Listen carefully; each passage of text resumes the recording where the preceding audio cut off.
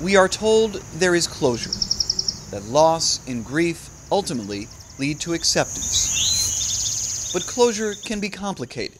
In this story, it has built for decades for a family waiting for its angel to come home. It's almost like you're living in a daze. You haven't come out of it yet. Yeah, she had distinctive eyes. Cheryl Hammack grew up in Thomaston, Georgia. This one? Her sisters, Lynn and Johnny, and her mother, Kathleen, speak of a family that dressed alike and a wild child who led the way. She had this crazy dance. She danced and shook everything from head to toe. These are the last ones we have of her. The fall of 1981 brought to town a touring fair.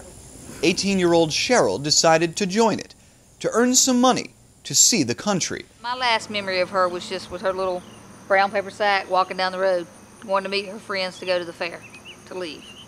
That was it. Three weeks later, Cheryl stopped calling. Four weeks later, her family received a package with her belongings. No word, not for days, weeks, months, years. Their cases resembled hers. I would call in, and those leads would never go anywhere. It was easier thinking that she was dead rather than homeless somewhere, starving, being captured by someone, and not being able to go free. It was the easiest way of getting through life. Cheryl's family lived in limbo for 37 years. And then, a post from a woman they'd never met. That's one of my main interests is the John and Jane Doe cases. Kelly Sage lives in Wyoming, but she grew up in Quitman, Georgia. A few years back, she visited the grave of a well-known Jane Doe. Somebody had um, etched her likeness in her gravestone. In Quitman, the story is lore. A body found near a highway, stabbed and strangled.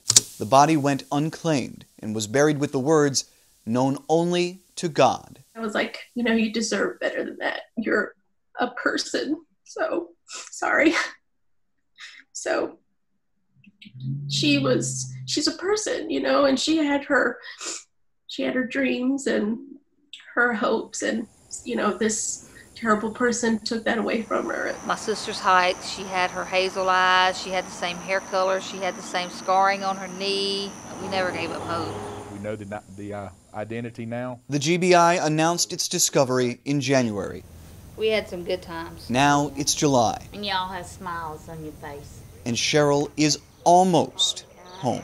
I might sleep one night, good night, then there'd be three or four nights I won't sleep none. Thinking about it. I have a little boy that looks just like it's just reality. It's finally here and I don't know that we're prepared.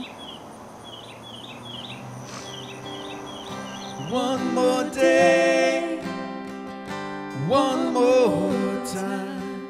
Two weeks later, the child known only to God returns to those who knew her best.